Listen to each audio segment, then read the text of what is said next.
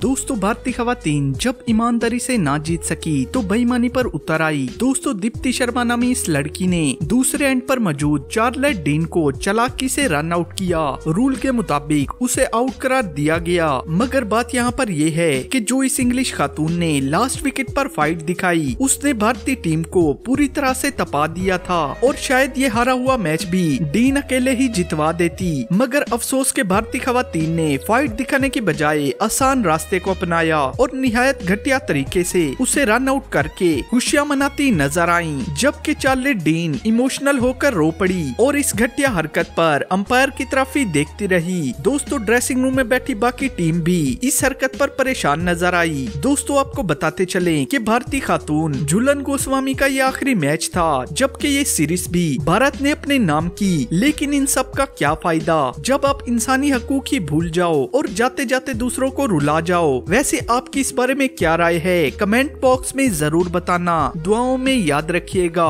अल्लाह हाफिज।